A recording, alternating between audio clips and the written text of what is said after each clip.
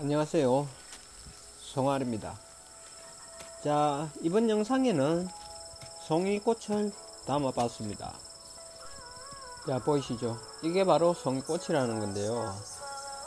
자 송이꽃이 어, 정확한 학명은 제가 잘 모르겠는데 송이 나는 송이철이 되면 이렇게 이제 산에 올라오면 송이 나는 주변에 보면 이런 송이꽃이 항상 피어 있습니다. 어, 군락을 이루고 있으면은 이거 그 주위에 이제 송이가 안 나겠죠. 근데 이렇게 이제 한두 송이씩 피어 있는 곳에 그런 쪽에 이제 송이가 자생하죠. 송이꽃이 이래 언뜻 보면은 이뻐. 응? 조그마하게 앙증맞게 해가지고 어? 이뻐 이뻐 이뻐.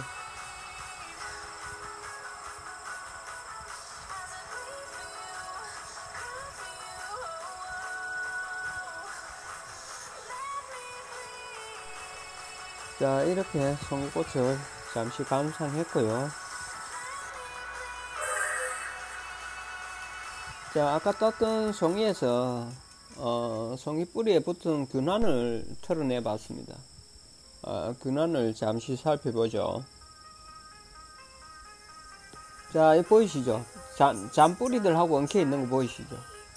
자, 이 흙은, 흙이 이제 마사토라고 하는데, 뭐 마사토는 하강암이 풍화되어 가지고 이제 부서진 거라고 그렇게 얘기하는데 뭐 하강암이 뭐 그런 전문적인 건 잘 모르겠고 여하튼 보면은 흙이 푸석푸석해 푸석푸석하고 입자가 굵어 근데 우리나라 고, 고지대 산에 가면은 거의 뭐 흙이 이런 흙이지 뭐 응?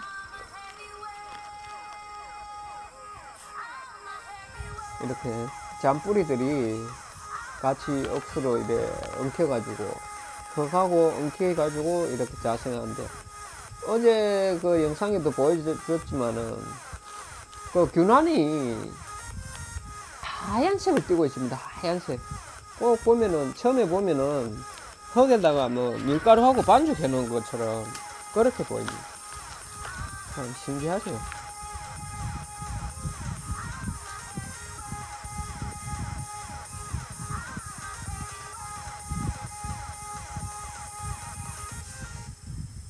잔뿌리들이 송이에 파고 들어가 있습니다. 나무 뿌리에서 나무가 자라나야 되는데 나무 뿌리에서 송이가 자라났네요. 참 신기하죠. 특히 송이 요놈은 진짜 신기합니다. 내가 볼 때 이거 요, 요거 어? 요물인 것 같아 요물. 참 소나무는 우리한테 많은 것을 주네요.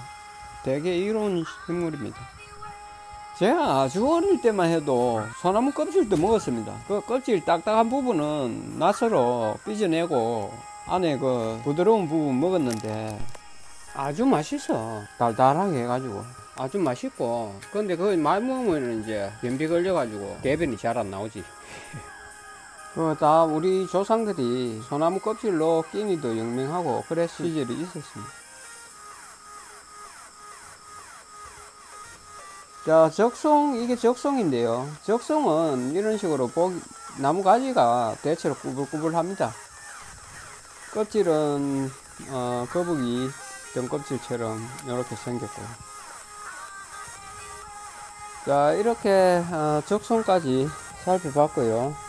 어, 오늘 산행은 여기서 어, 마치겠습니다. 어, 다음번 산행은 지금 여기 어, 태풍이 올라와 가지고 오늘부터 아마 비가 엄청 올 것 같은데 비 오고 나면은 어, 송이가 본격적으로 올라올 듯 보입니다. 어, 제대로 된 송이 산행으로 찾아뵙겠습니다. 감사합니다. 자 구독과 좋아요 많이 많이 부탁드립니다. Thank you